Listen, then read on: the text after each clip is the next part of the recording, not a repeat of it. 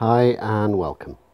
In this video we're going to be looking at servicing a rotary tank style dress watch with a 17 jewel Swiss movement. Here I'm giving the watch a full wind and we'll take a look at the movement once it's uncased.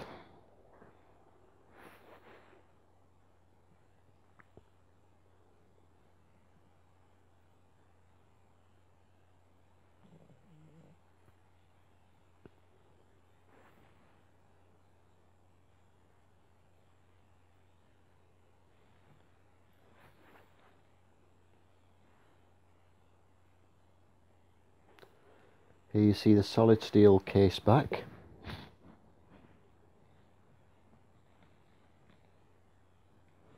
which incorporates the movement holder ring.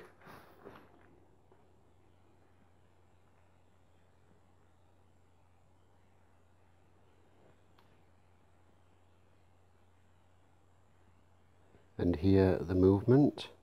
At this point I'm using a blower to agitate the balance wheel and you can see that it swings very briefly and stops. It won't it won't continue to run and this is on a full wind so it's definitely in need of a service. Just down there you can see some rubbing on the hour hand and there is a slight bend on the minute hand which will need to be corrected on reassembly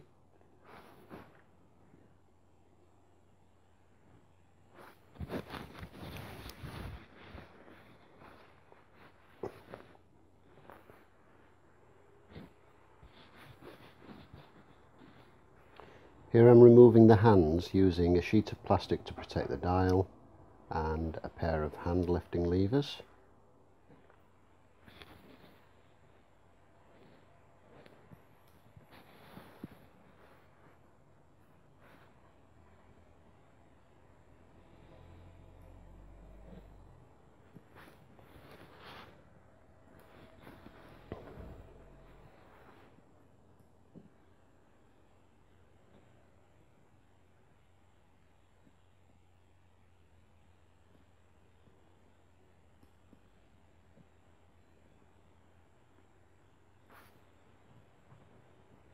And the next step is to unscrew the two dial screws which hold the dial in place to the movement.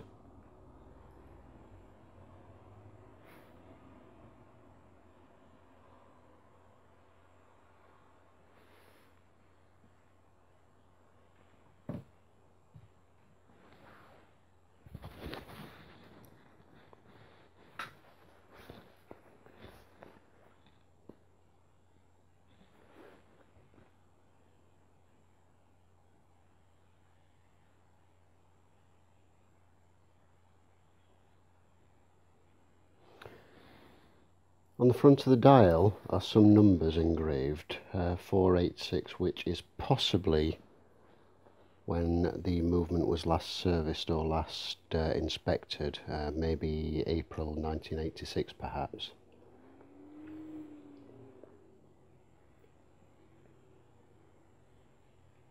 We begin stripping the movement with removal of the keyless works there are no date complications or anything else on this watch. It's a very straightforward movement.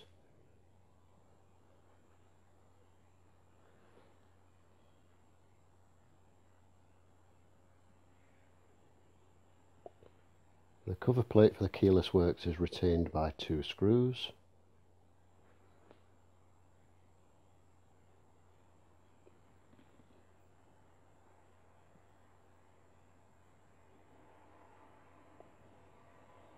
and once this is removed this allows us access to the yoke, the setting lever, the setting lever spring, the hour wheel, the minute wheel, the cannon pinion and the intermediate wheel.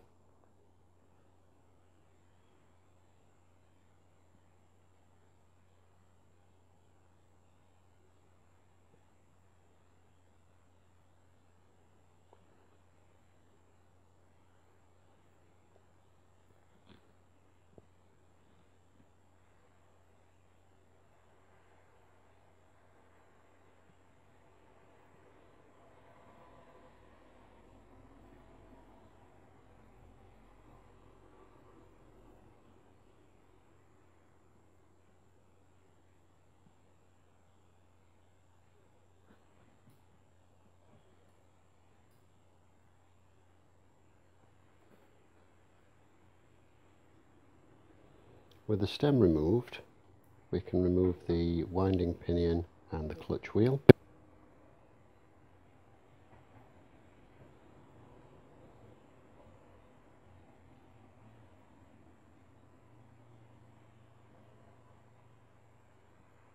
and then the cannon pinion.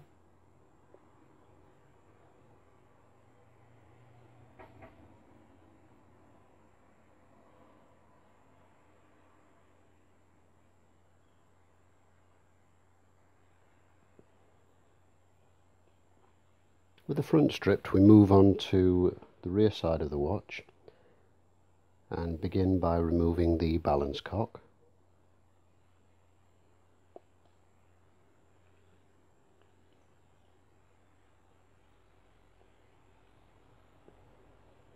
The power has already been removed from the train.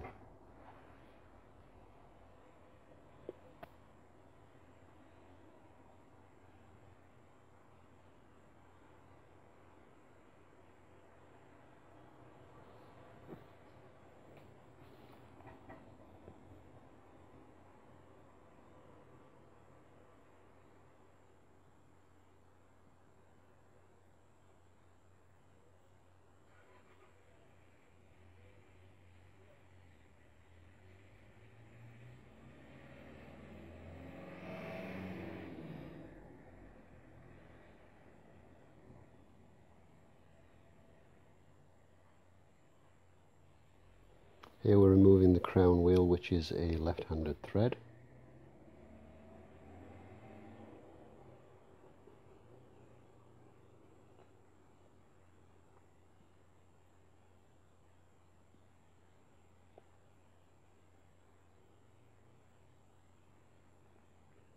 followed by the ratchet wheel.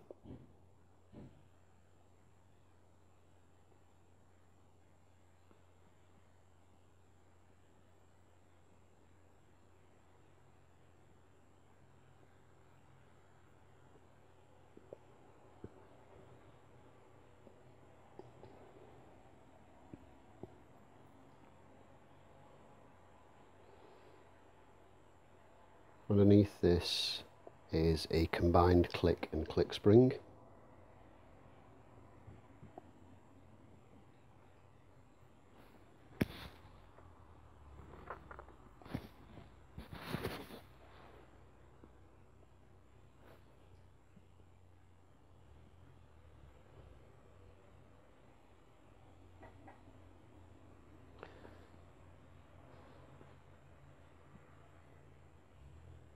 Next to remove is the combined barrel and train bridge, which is held down by three screws.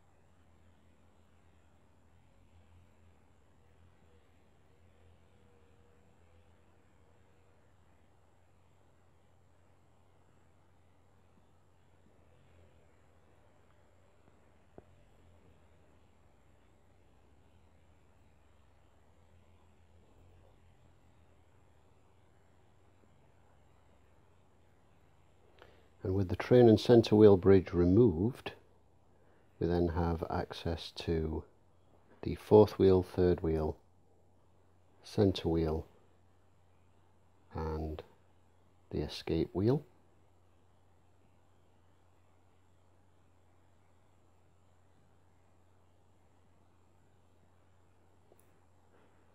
and of course the mainspring barrel.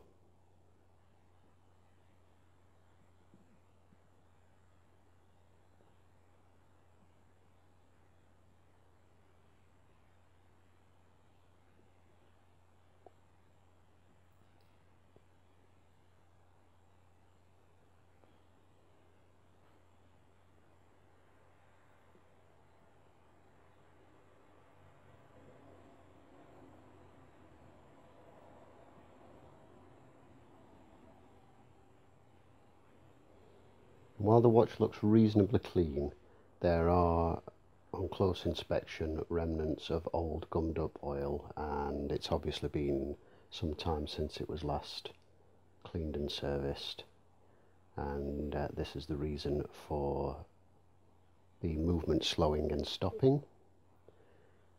Here I'm removing the pallet cock and pallet fork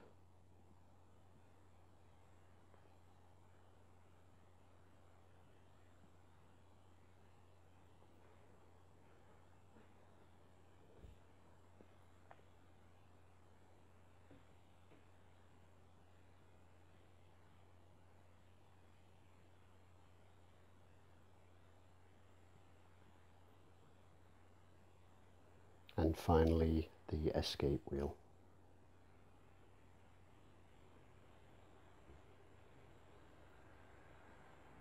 At this point here I'm refitting the balance cock in preparation for placing into the watch cleaning machine. This minimises the possibility of damage to the hairspring which of course is a very delicate part.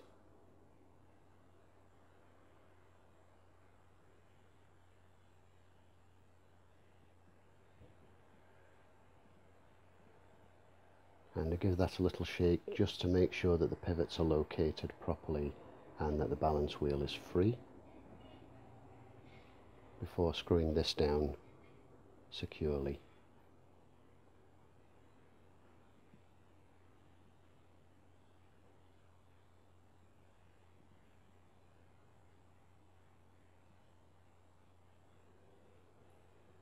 And the final part of this assembly is the mainspring barrel so we've popped the cap loose using a poly bag just in case any parts ping.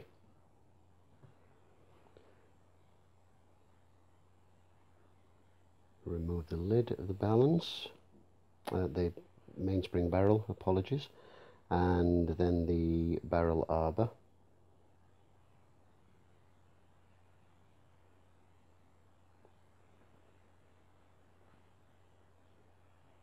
Barrel and mainspring are actually incredibly clean inside.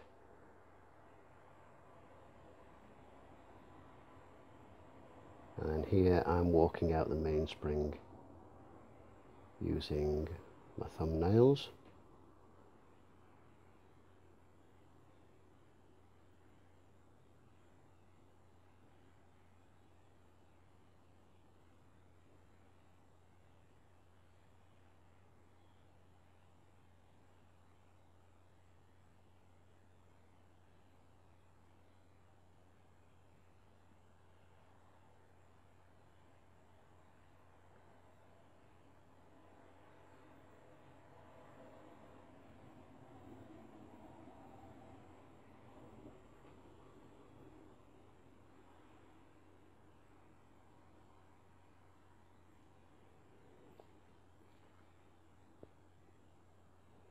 At this point all of the parts are put into the basket and then go into the watch cleaning machine.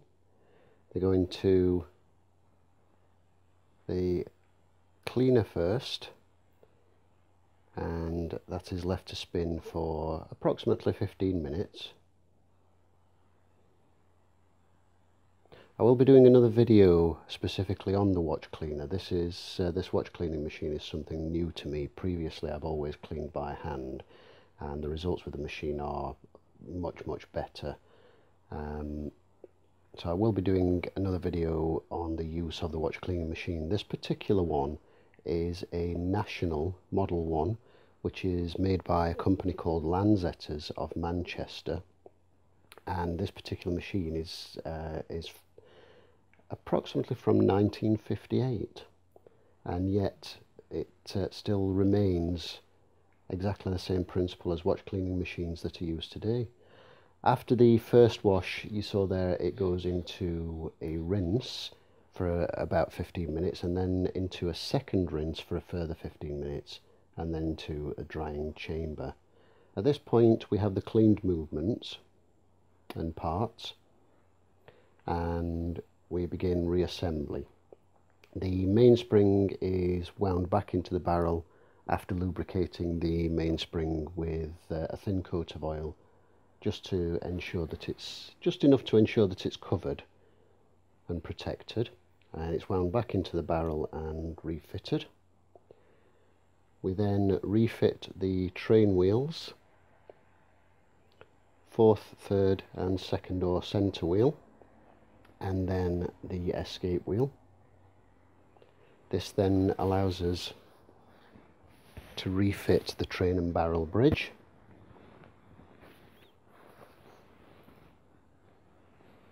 All the lower pivot holes are oiled prior to fitting the components because these on this movement are designed in such a way that they have to be oiled internally whereas the ones on the top of the balance and train bridge can be oiled once that's in place.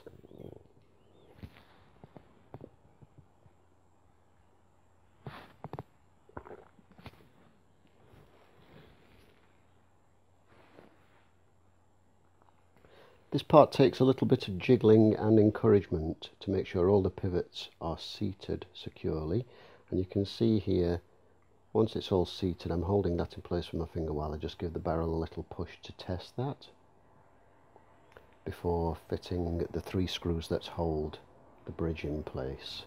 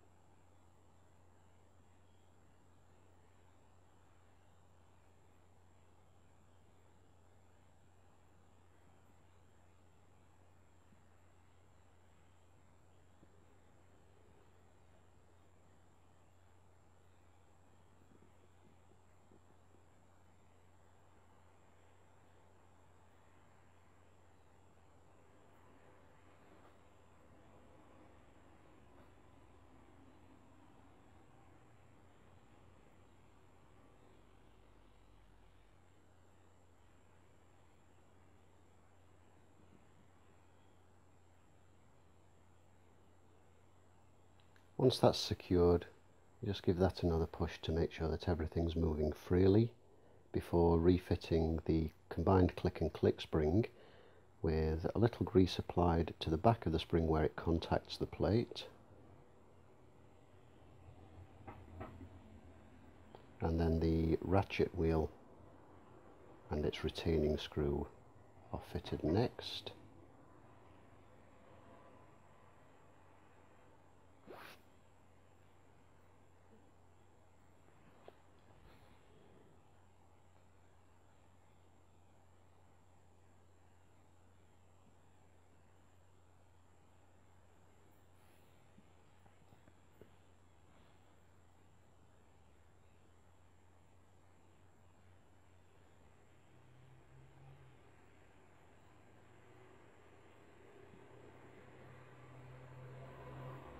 using a bit of pegwood there just to hold the ratchet wheel securely while I tighten the screw. Next to be fitted after greasing the pivot point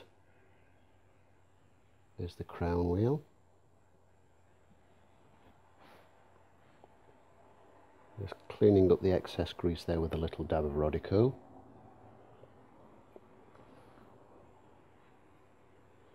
And then refitting the screw which as before is a left-handed thread so this must be tightened in a clockwise direction.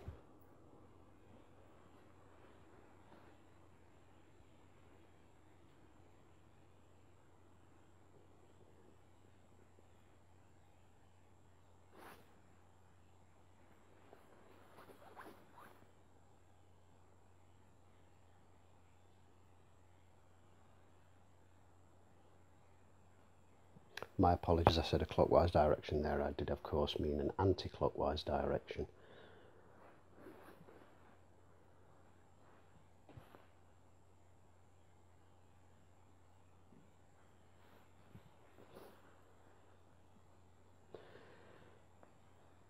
At this point, I am refitting the pallet uh, cock after refitting the pallet fork which unfortunately was obscured by my finger there, apologies for that.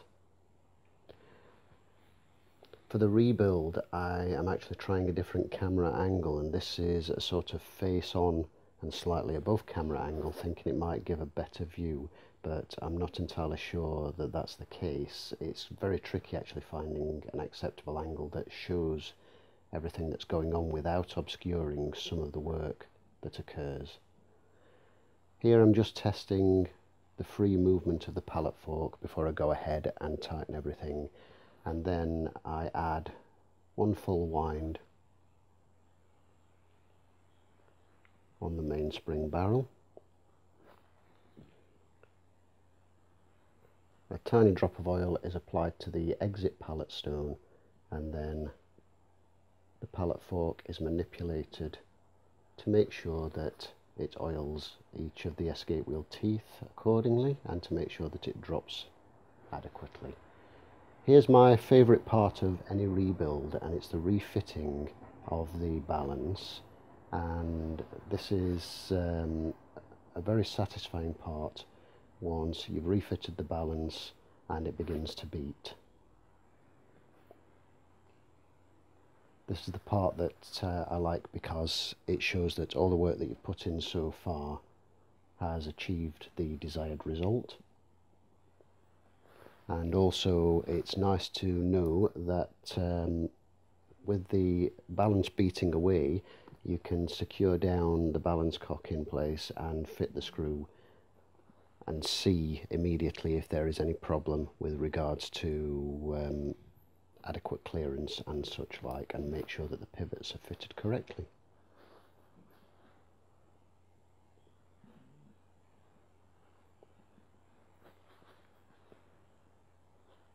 You'll notice at this point that the end stone of the balance cock was missing. Um, I, I removed the end stones and cleaned them separately after the, watch movement has gone through the cleaning machine because the end stones help to keep the balance pivot in place securely while it's in the machine. And I did actually try to demonstrate the refitting of the shock spring but unfortunately it was just too difficult to do that on camera because this is something that requires me getting very close up and uh, with a loupe and seeing exactly what I'm doing whilst using two pairs of tweezers to refit it. After refitting the Chaton cap jewel and the balance shock spring to the rear, uh, you'll uh, return the movement over to the dial side and the balance jewel on that side had already been cleaned and refitted prior to reassembling the motion works. Here we're refitting the keyless works so after lubricating we fit the winding pinion and the clutch and then place the winding stem into place.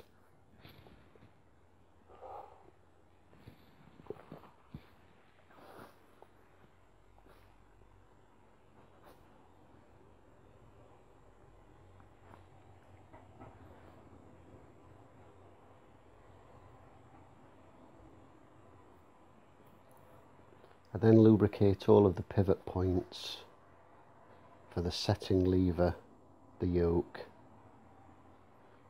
and then the associated springs and cover plates. Note also on this particular movement that in addition to the intermediate pinion the minute wheel needs to be fitted prior to fitting the securing plate as well.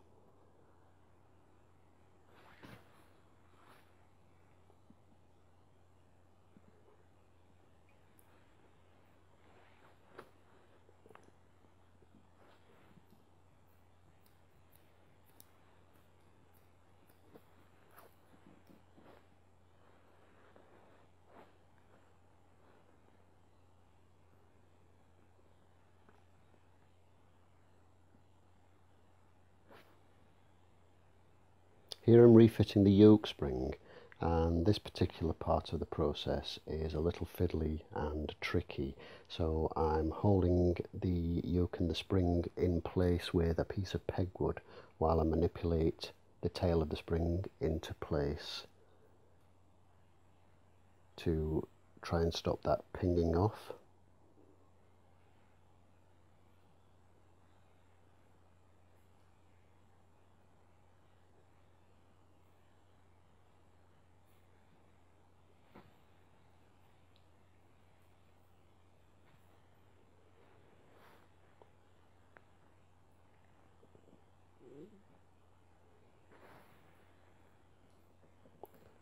Here I'm the intermediate pinion and then the minute wheel.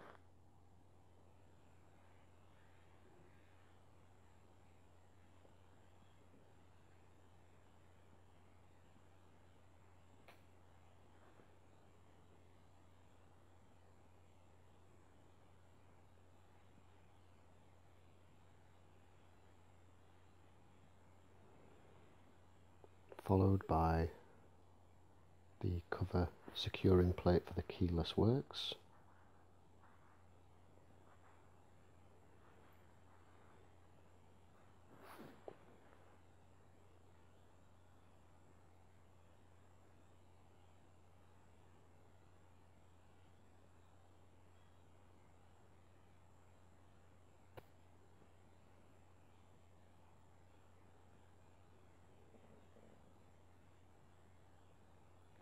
This is tacked into place with the two screws.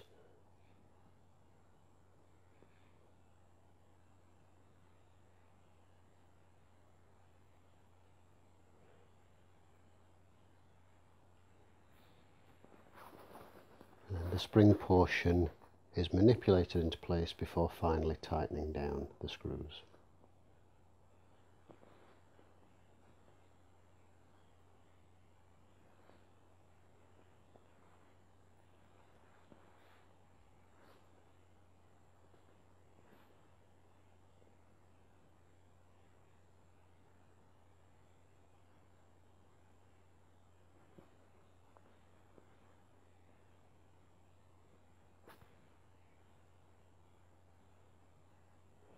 I'm adding a little grease onto the contact point of the spring and then once that's put into place and the screws are fully tightened down this is manipulated back and forth a little to make sure that the relevant points are lubricated before clearing off any excess grease with a bit of Rodico.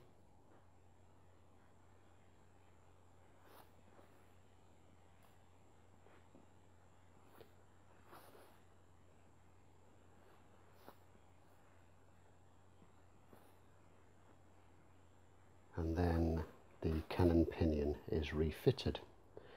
The next step is to fit the hour wheel, but at this point I put the movement on the timegrapher because the hour wheel is not held in place by anything. So I want to regulate and set the movement on the timegrapher before I go ahead and refit the hour wheel in the dial. So we put the machine onto the timegrapher and the initial trace looks like this with quite a large beat error of 5.1 milliseconds as you can see. So we go ahead and correct the beat error first of all. And once we've gotten that to a good reading of 0.1 milliseconds, we start looking at regulating the gain or loss, in this case a plus 30 seconds a day gain, until we get it to something a bit better, like this one here which is within sort of uh, plus 3 to minus 2 seconds. Once I'm happy with that, I go ahead and refit the hour wheel.